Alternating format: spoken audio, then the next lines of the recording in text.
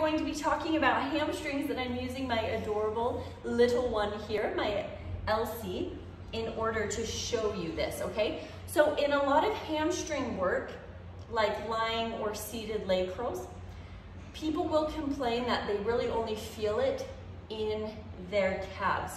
And that's common, and I'll tell you why. So when the leg is completely straight, mechanically the hamstring is not in a position to actually, if it tries to contract, it, it can't pull at this point, okay? So really it's just going to be a stabilizer. And the gastroc, a portion of your calf, is what's going to be doing this movement here. That initial 15, 20 degrees is going to be done with your gastroc, and that's why a lot of people will feel majority of it in their calves, especially because a lot of people will launch from the bottom, and so their calf did most of the work, and then momentum kind of picks up and takes them to the top. So their hamstring did was a stabilizer at best, and their calf did the whole thing. And then they're wondering, why are my calves green but my hamstrings aren't? Or why am I only feeling this in my calves and not in my hamstrings? So let me give you a few tips.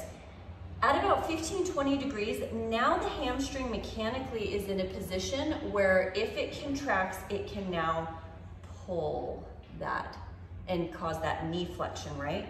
Pull and cause that curl.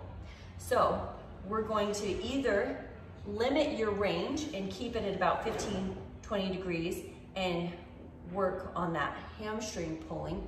Or, you know, I think it's really important that we also continue to work our gastroc in this position and work this area.